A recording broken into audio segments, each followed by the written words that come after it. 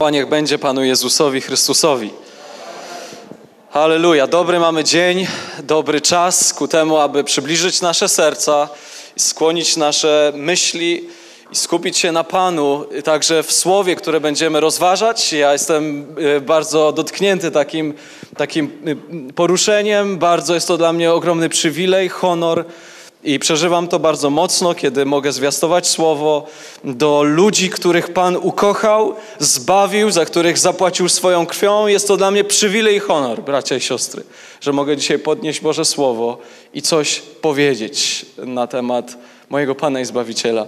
E, chciałbym nas wszystkich odesłać do fragmentu, który będzie takim głównym fragmentem tego zwiastowania. Jest to Ewangelia Mateusza, 21 rozdział 20, od 28 wiersza, a więc będziemy skupiać się na, jednym z, na jednej wypowiedzi Pana Jezusa, takiej zagadce, którą On dał swoim, e, swoim słuchaczom i oczekiwał od nich pewnej odpowiedzi i na bazie tej odpowiedzi później On im coś przekazał. I tutaj czytamy w 21 rozdziale, 28 wierszu takie oto słowo. Jakie jest wasze zdanie? Pyta się Pan Jezus tych, którzy słuchają. Pewien człowiek miał dwóch synów. Do pierwszego powiedział: Idź, popracuj dziś w winnicy. A on odpowiedział: Nie chcę. Potem jednak zmienił zdanie i poszedł. Drugiemu polecił to samo, a on odpowiedział: Dobrze, panie, i nie poszedł z kolei. Który z tych dwóch wypełnił wolę ojca? Pyta Pan Jezus swoich słuchaczy. Pierwszy stwierdzili bardzo szybko, a Jezus na to zapewniam was, celnicy i prostytutki, celnicy i nierządnice e, wyprzedzają was na drodze do Królestwa Bożego, bo przyszedł do was Jan, Jan Chrzciciel, e, postępując sprawiedliwie i mu nie uwierzyliście, a celnicy i prostytutki uwierzyli. Wy natomiast, nawet gdy to sobie uświadomiliście, nie zmieniliście zdania i nie uwierzyliście Mu. Panie, dzisiaj chcemy Cię bardzo prosić, abyś to słowo przed nami otworzył. Aby to, co tutaj jest zapisane, nie stanowiło dla nas jakiegoś problemu, ale stało się jasne, zrozumiałe, czytelne i głęboko zapadło w naszych sercach, dając nam pewne, pewną wiedzę, mądrość, poznanie Twojej woli, tego, czego oczekujesz od człowieka. Ojcze, ja modlę się, abyś dzisiaj nas wszystkich Duchem Świętym napełnił, abyśmy mieli e, jasność w tym, co rozumiemy, abyśmy nie błądzili gdzieś po bezdrożach, ale wszystko było dla nas zrozumiałe i jasne. W imieniu Jezusa o to prosimy. Amen. Kochani, oto mamy historię dwóch braci. Bo zwykle skupiamy się w tej historii na ojcu, który mówi o, y, albo zapowiada swoją wolę. Ja zwracam dzisiaj uwagę na tych dwóch braci. Na dwóch braci, którzy y, odznaczyli się zupełnie odmienną postawę, a jednak łączyło ich bardzo wiele. Zwracamy szczególnie na, podczas czytania tego słowa na, na to, y, że odróżniła ich pewna postawa, reakcja na to, co, czego ojciec oczekiwał. Ja jednak zwracam uwagę teraz, w tym pierwszym, przynajmniej w tej pierwszej części zwiastowania, na to, co ich łączyło, bo to jest niezwykle wymowne. Pierwsza rzecz, która ich łączy, to to, że mają wspólnego tego samego Ojca, który nie jest inny dla jednego, a inny dla drugiego. On jest tym samym ojcem dla tych dwojga. Po drugie, to co ich łączy, to na pewno to, że oboje wiedzieli, czego oczekuje od nich ojciec. Żaden z nich nie mógł powiedzieć: Ojcze, nie wiedziałem, czego ode mnie oczekujesz, nie zrozumiałem Twojej intencji, była taka jakaś trudna, zakryta, więc zbłądziłem. Nie, oboje wiedzieli.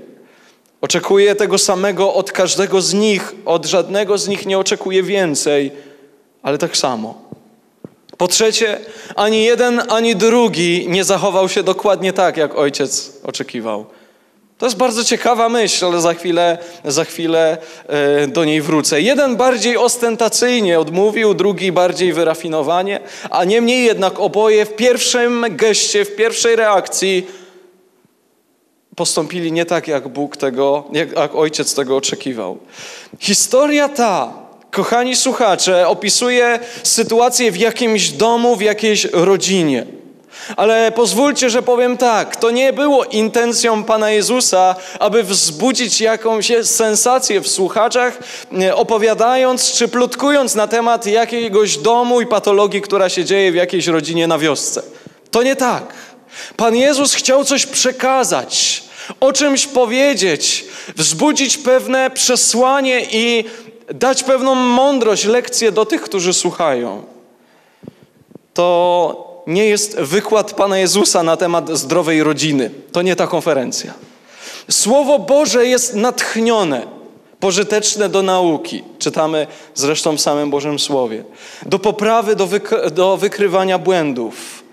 A z drugiej strony wiemy, że przecież Pan Jezus nie mówił niczego sam z siebie, ale jak sam powiedział, mówił to, co słyszał najpierw u Ojca. Więc każde Jego słowo było tym, które On najpierw usłyszał u Ojca i je przekazał. Mamy w końcu głos z nieba, kiedy rozlega się ten wspaniały głos na górze przemienienia, gdzie Pan Jezus stoi wraz ze swoimi uczniami Oto rozbrzmiewa głos z nieba: To jest syn mój umiłowany. Jego słuchajcie. Innymi słowy, On ma Wam coś najważniejszego do powiedzenia. Kochani, skoro sam Bóg tak twierdzi, to znaczy, że nie ma ważniejszego źródła informacji jak słowa Jezusa. A więc to nie TVN24, to nie wiadomości czy Teleekspres, ale słowa Zbawiciela Jezusa Chrystusa są najważniejsze. Czy wsłuchałeś się już w słowa Jezusa? Czy zwróciłeś uwagę na to, co On ma do powiedzenia nam ludziom? Czy te słowa, które wypowiedziane zostały około dwa tysiące lat temu, dotarły już do Twoich uszu i odpowiedziałeś na nie? Czy może żyjesz tak, z dnia na dzień lekceważąc to największe i najważniejsze przesłanie, jakie zostało dane ludzkości słowa Jezusa Chrystusa. To jest mój syn umiłowany. Jego słuchajcie, Jego słuchaj. Może czas wyciszyć wszystkie inne źródła w swoim życiu i posłuchać tego, co Pan Jezus chce powiedzieć. W jakim więc celu dzisiaj umieszczona została, e, w jakim więc celu została umieszczona ta historia w Bożym Słowie i dlaczego Pan Jezus o niej powiedział? Już odpowiadam. E, w ten sposób Bóg komunikuje nam Jego wolę względem człowieka. W tej historii Pan Bóg objawia się jak, jako ojciec, który ma dwóch synów. Wiemy, że Pan Bóg nie ma dwóch synów. Ma miliony swoich stworzeń, miliardy swoich stworzeń, ludzi. I w tej historii te miliardy swoich stworzeń, a więc miliardy ludzi, przedstawieni są w postaci tylko dwóch synów, bo dla Boga liczy się, liczą się tylko dwie reakcje na Jego słowo.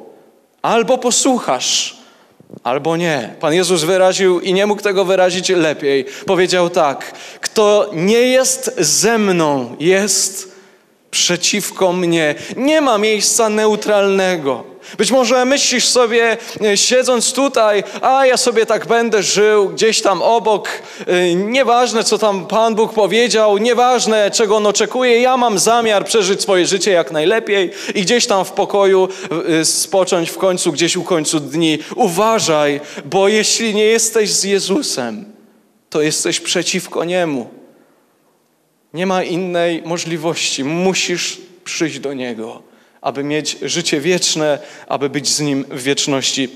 Kochani, mowa w, tej, w tym słowie, w tym, co Pan Jezus powiedział, jest o Królestwie Bożym, o woli Ojca i zapewniam Cię, to jest dzisiaj dobra wiadomość dla Ciebie.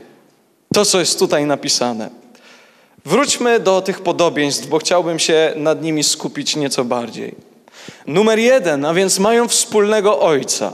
Tych dwoje synów to ludzie, to chłopcy, to mężczyźni, którzy mają jednego i tego samego ojca. On jest taki sam, zarówno dla jednego, jak i drugiego. Kochani, to jest wielka prawda.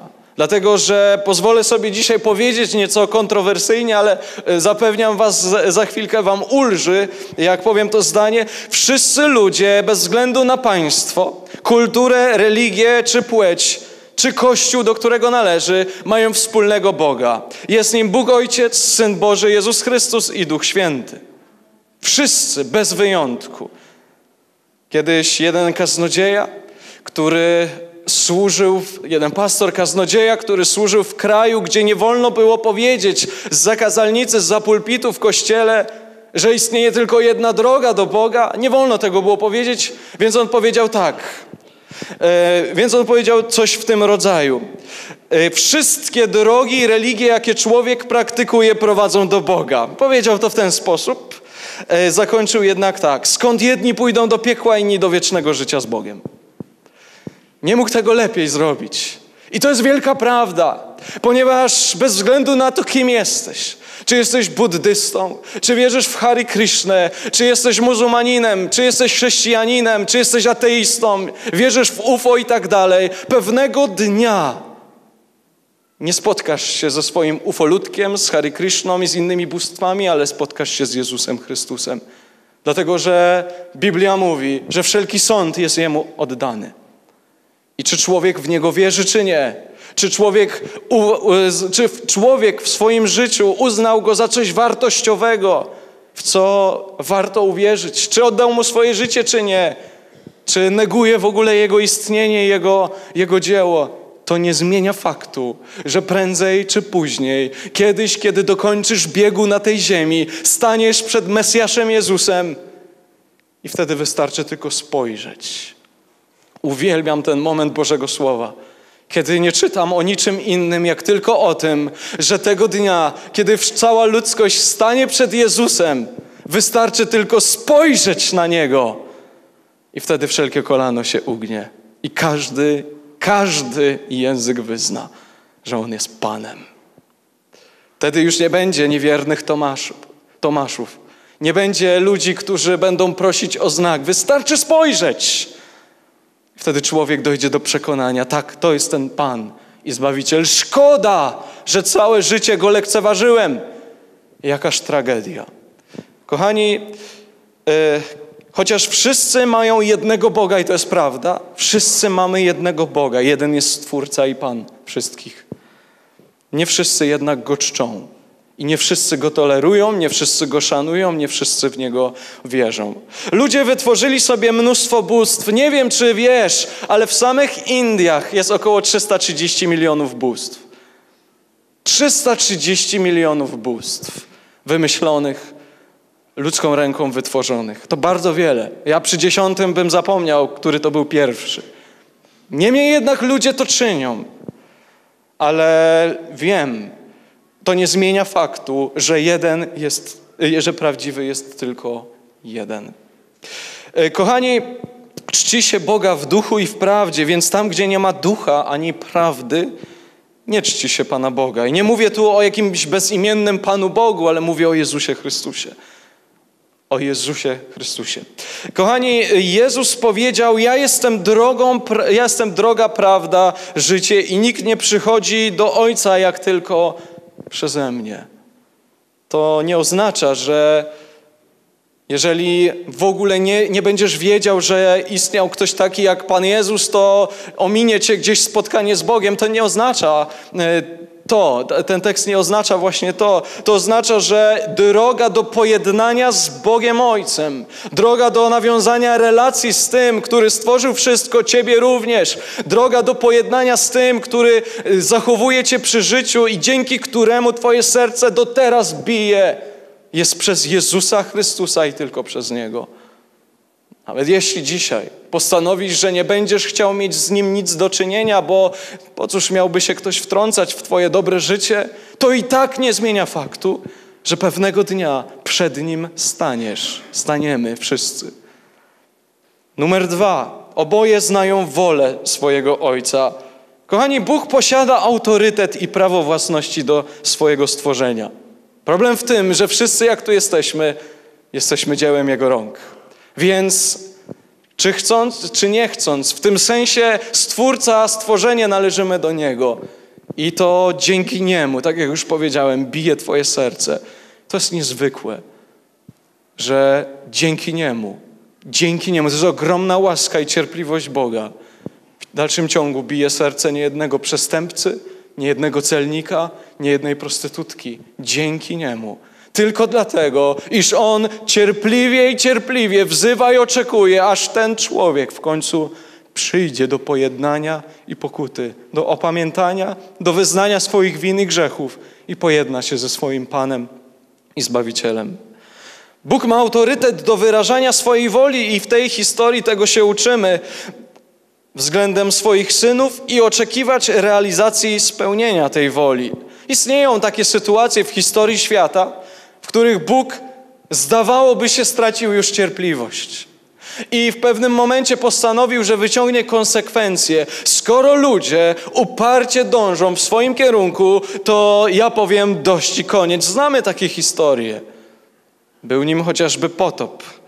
Kochani, kiedy rozważałem tematy, temat, którym jest potop, później Sodoma i Gomora, również, która jest wyrazem wielkiego sądu Bożego nad ludzkością. I muszę powiedzieć, że już dawno wyleczyłem się z takiej niedzielnej historyjki o hipopotamie i żyrawce w tle. Potop był straszny, mówiłem o tym kiedyś na tym miejscu. Około bibliści gdzieś tam są zgodni, między 8 a 9 miliardów ludzi żyło w tamtym czasie, więc więcej niż teraz. To jest zaskakujące. I oto przyszedł potop na wszystkich ludzi. Cały glob został zalany. Przez około sześć miesięcy woda nieustannie zalewała, zalewała tereny, na, które, na których mieszkali ludzie. Ludzie wspinali się na najwyższe punkty, krzycząc do Boga, ratunku, wzywamy Cię, pomóż nam, a jedyna odpowiedź, która przychodziła z nieba, to deszcz. Aż w końcu ziemia zamilkła. I została tylko jedna, jedno miejsce żywe na ziemi arka. I wtedy czytamy, Bóg wspomniał na Noego. Wyratował tych osiem osób, które wówczas tam y, przebywało. To jest wielka lekcja, drodzy słuchacze. To jest wielka lekcja, ponieważ Pan Jezus mówi, że w czasach ostatnich będzie jak za dni Noego. Nadciąga huragan, drodzy słuchacze. Nadciąga burza, która zmiecie wszystko, co dzisiaj znamy na obliczu ziemi i jedynym, jedynym ratunkiem, jaki Bóg pozostawił nam, ludziom, to jest ten szorstki krzyż, na którym zmarł nasz Zbawiciel Jezus. Jeśli przyjdziesz do Niego i wyznasz swoje winy, to wtedy On wyratuje cię przed nadchodzącym gniewem. Będziesz należeć do Niego i będziesz mógł się cieszyć szczęściem, radością, przebaczeniem swoich win, lekkością, jakiej w życiu nigdy nie miałeś, bo to wszystkie Twoje grzechy zostały oczyszczone i wybaczone. Tak samo podczas Sodomy i Gomory.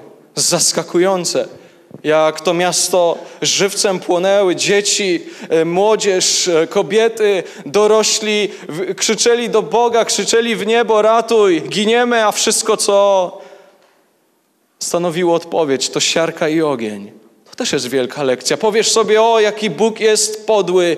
Nie, to my jesteśmy podli. Zauważ, oto Bóg posyła swojego Syna. On nikomu krzywdy nie zrobił. Wszystko, co robił, to zwiastował nadzieję, ratunek, rzucał koło ratunkowe ludziom. Chorzy byli uzdrawiani, ślepi widzieli, chromi chodzili, a wszystko to, co On w zamian dostał, to gwoździe w swoje ręce i gwoździe w swoje stopy. Tak podli jesteśmy.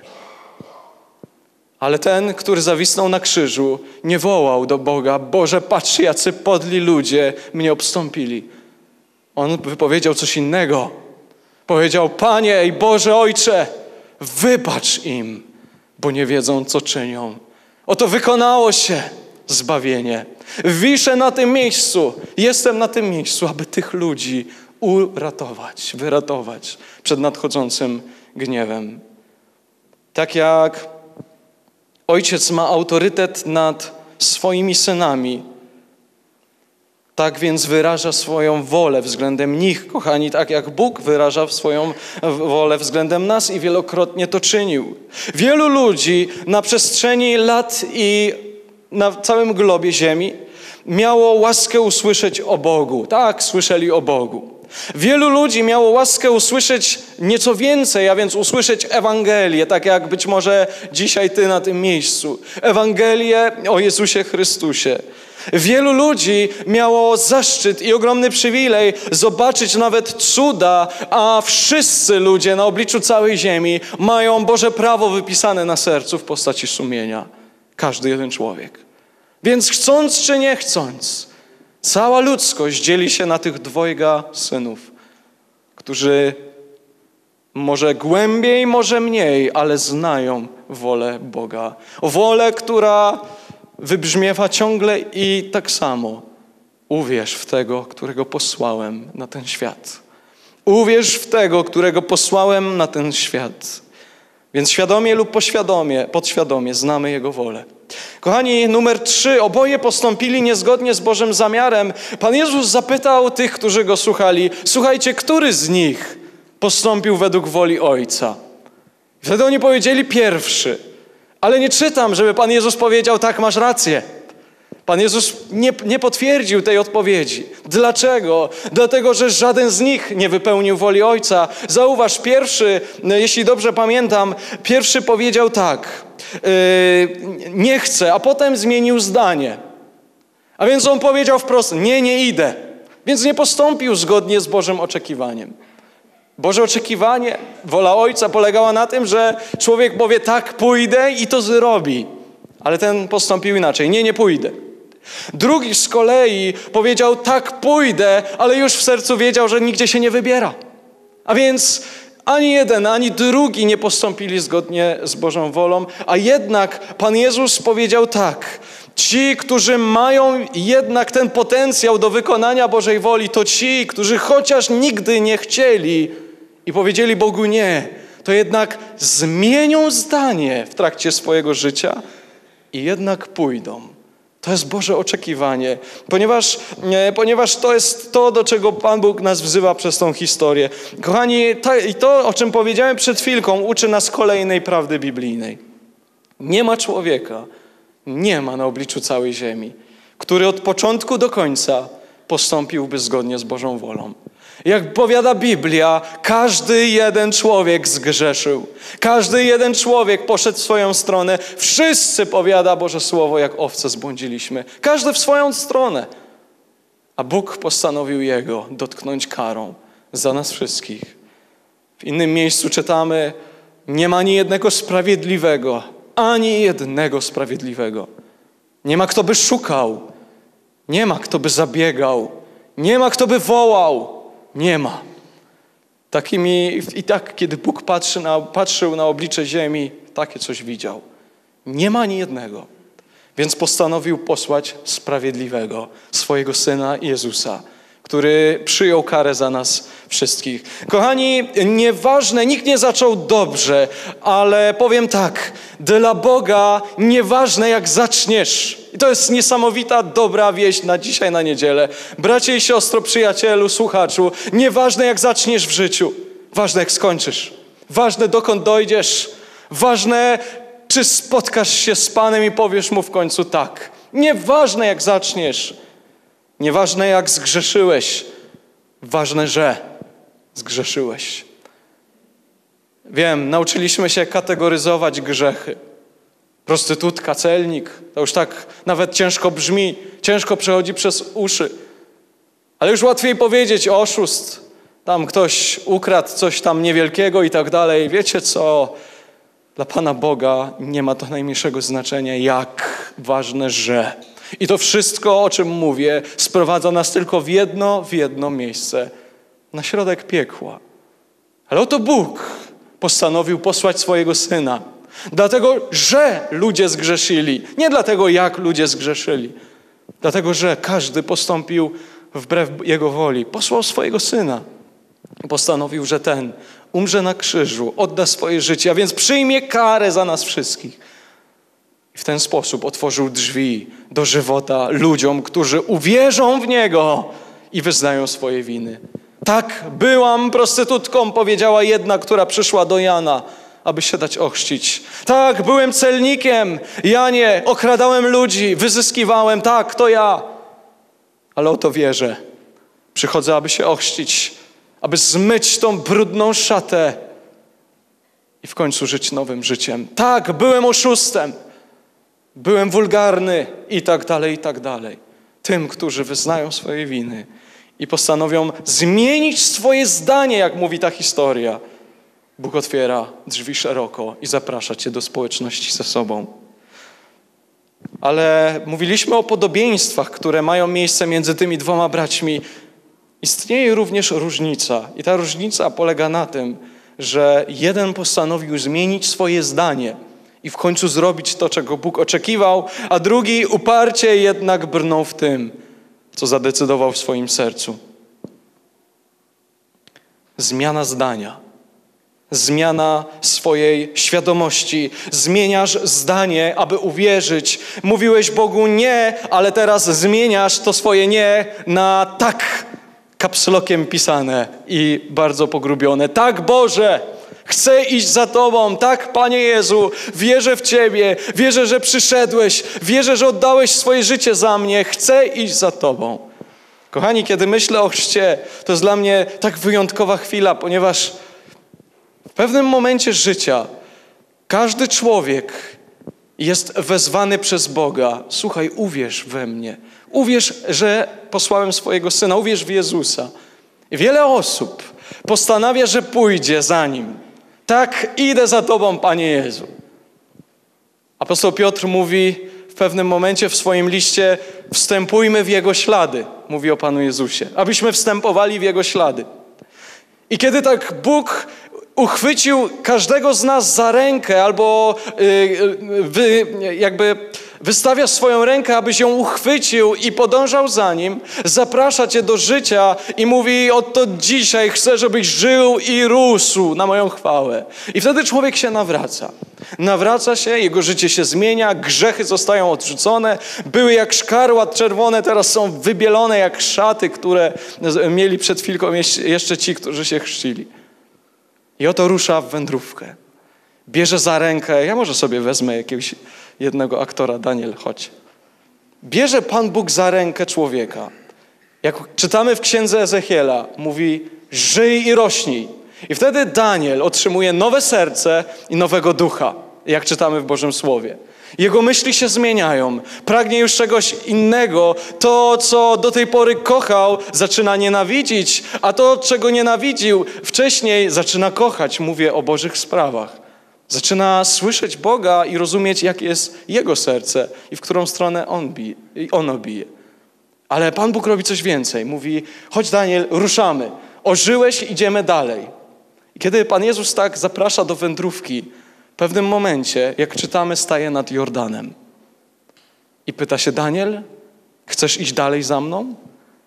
Czy wstępujesz w moje ślady, czy tylko ten krótki odcinek Cię interesował? Czy chcesz iść dalej? Bo ja wchodzę do wody. Ja wchodzę do wody. I Daniel postanowił, że wejdzie, dlatego że postanowił iść w ślady Jezusa dalej.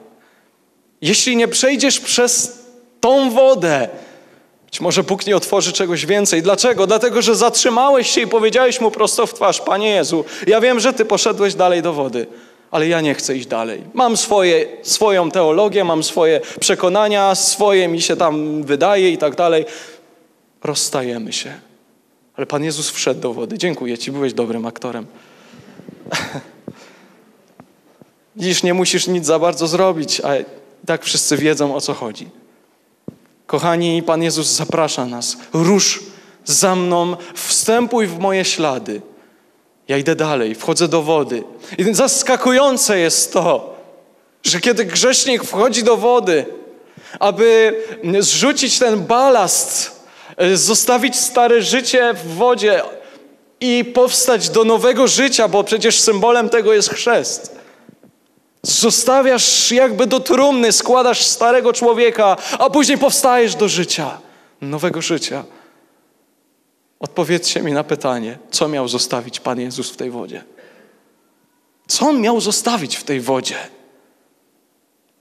Kiedyś, kiedy myślałem o chrzcie i zastanawiałem się, co tam też się stało, kiedy Pan Jezus wszedł do wody, powiem tak, pomyślałem sobie w ten sposób. Ta woda stała się czystsza od tego, że Jezus tam wszedł.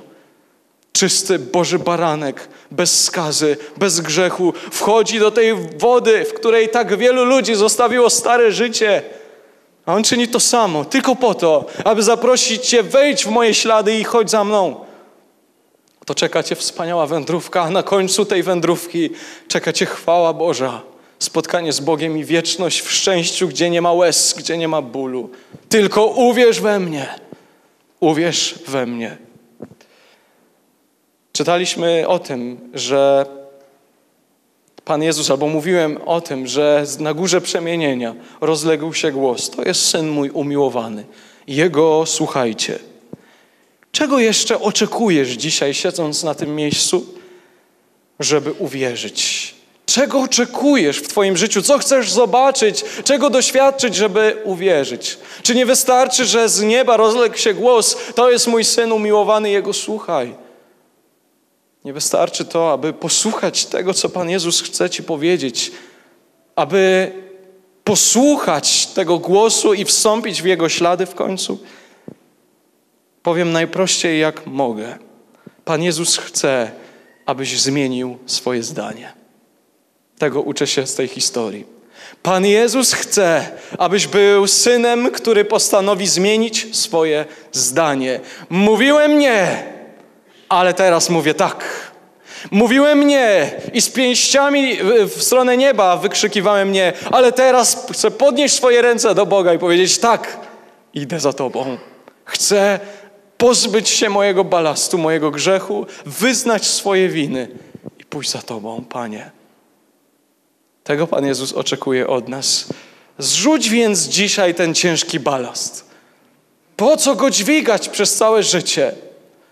Zrzuć więc ten grzech, który cię usidla i popatrz na Jezusa i biegnij do przodu, aż do tego momentu, aż uzyskasz koronę. Wstąpisz do nieba, bo Bóg cię tam wezwie i staniesz przed Nim i będziesz mógł z, z odwagą, z radością przyjść w Boże oblicze. Dlaczego? Bo Twoje grzechy raz na zawsze zostały usunięte. Dlatego chrześcijanie, bracia i siostry, to najszczęśliwsi ludzie na świecie. Dlaczego? Dlatego, że szczęśliwy jest człowiek, któremu nie policzono występków. O, jak szczęśliwy! Tak szczęśliwy, że powinien w podskokach z nabożeństwa wracać do domu dzisiaj.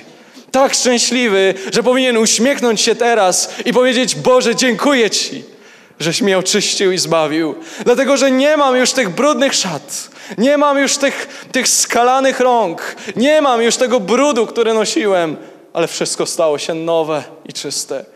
Czy pragniesz dzisiaj w podskokach, jak owca na, wio na wiosnę, jak e, cielęta na wiosnę, kiedy są wypuszczane z obory? Czy pragniesz dzisiaj pójść do domu, wolnym od swoich win i grzechów?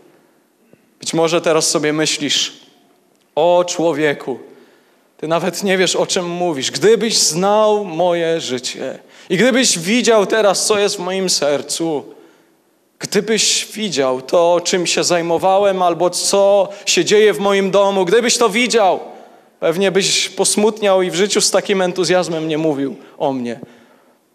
Dobra nowina polega na tym, że dla Pana Boga nie ma zbyt wielkich grzeszników, nie ma zbyt wielkiego grzechu, nie ma takiego, którego by On nie mógł dzisiaj oczyścić i zmienić raz na zawsze Twoje życie.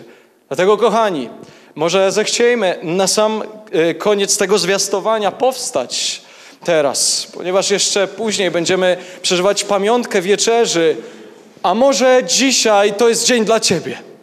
A może to słońce dzisiaj wstało dla Ciebie, drogi człowieku, aby, aby, abyś mógł zobaczyć, jak wspaniałym jest Chrystus Jezus, który poszedł na krzyż za Ciebie. Może ten dzień jest dla Ciebie. Może ten dzień został zapisany już dawno przed założeniem świata, dlatego że dzisiaj Ty powiesz tak i całe niebo będzie się radować. Może to jest czas, abyś rzucił wszelki ciężar w końcu i mógł zaczerpnąć powietrze takim spokojnym oddechem, nowym życiem, wolny, będąc wolnym. Może chcesz dzisiaj, może wyrywa się to z Twojego serca, aby poprosić w końcu, Panie Jezu, wybacz mi i daj mi nowe życie. Pochylmy nasze głowy. Ja chciałbym, Chciałbym dzisiaj, abyś zrobił takie wyznanie wiary. Jeśli dzisiaj bardzo tego pragniesz, wyznać swoje grzechy Bogu, powiedzieć w końcu Panu Jezusowi tak, chcę, Panie, chcę skończyć z tym moim marnym, nędznym życiem i chcę, żebyś mi odpuścił moje winy, bo są wielkie. Chcę iść za Tobą. Chcę, żebyś zmienił mnie i zamieszkał w moim sercu. Jeśli są takie osoby dzisiaj bardzo poruszone tym zwiastowaniem, bardzo dotknięte, i kiedy mamy pochylone głowy, żebyśmy się nie rozpraszali, nie patrzyli na siebie, daj mi tylko znać, podnieś lekko, lekko rękę, dziękuję. Czy są jeszcze takie osoby, y, które bardzo potrzebują? Jeśli są, podnieś, abym wiedział, że mam się modlić z tego miejsca. Czy są jeszcze oprócz jednej osoby takie, takie dzisiaj osoby, które bardzo pragną? Chcesz dać dziękuję? Czy jeszcze ktoś jest? Miejmy odwagę, kochani, wykorzystajmy ten czas. Bóg jest z nami, gotowy jest Ci wybaczyć dzisiaj. Przyjąć Cię, przygarnąć. Czy jeszcze ktoś jest dzisiaj? Dziękuję. Czy jeszcze ktoś jest? Y, dziękuję Wam bardzo za odwagę. Będę się chciał o Was pomodlić. Czy jeszcze ktoś, ostatni raz zapytam, czy jeszcze ktoś jest, kto bardzo chce zrzucić dzisiaj ten balast, powiedzieć, Panie Jezu, odtąd chcę, abyś mi wybaczył moje winy i chcę iść jako nowy, czysty człowiek. Czy jest ktoś taki jeszcze oprócz tych osób? Dziękuję, czy jeszcze ktoś jest? Dziękuję bardzo, jeszcze się podnoszą ręce. Jeśli masz jeszcze e, na tyle odwagi, aby dać mi znać, to proszę podnieś rękę. Dziś jest dzień dla Ciebie. Jezus jest na tym miejscu. Dziękuję, jeszcze są pewne osoby. Kochani, to jest dobry dzień dla nas. Podnieśmy swoje ręce wszyscy. A ci, którzy podnieśli swoją rękę, dając mi znać, proszę, módlcie się tam, gdzie jesteście i wyrażajcie swoje, swoje e, chciejcie wypowiedzieć przed Bogiem, wyznać swoje winy. Powiedzcie, Panie Jezu, zapraszam Cię do swojego serca. Odpuść moje winy, zabierz moje grzechy i daj mi nowe życie. Halleluja. Zboże drogi, módlmy się teraz. Wołajmy do Boga. Dziękujmy Panu Bogu. Halleluja. Panie, ja modlę się o te osoby, które podniosły rękę. To nieważne, nieważne dzisiaj, yy, dzisiaj nie kładziemy rąk na ludzi, dzisiaj chcemy, abyś Ty ich zauważył i zobaczył ich stan serca. Panie, prosimy Cię, abyś wejrzał na wszystkie te osoby, które podniosły rękę, aby, abyś Ty przebaczył im ich winy. Wsłuchaj się teraz w ich szept, być może w ich myśli, które przed Tobą kładą. Dziękuję Ci, że jeszcze dzisiaj, w 2019 roku, y, w czerwcu, możemy widzieć, że Ewangelia ma moc. Halleluja, Panie, wywyższamy Cię i uwielbiamy. Panie, ja modlę się, aby te osoby, które dzisiaj bardzo pragnęły oczyścić się, zostawić swój grzech, aby to właśnie uzyskały aby tak jak proszą, tak aby im się stało. W imieniu Jezusa o to się modlimy. Prosimy Cię i błogosławimy ich w Twoim imieniu. Halleluja. Panie, jesteśmy Ci wdzięczni.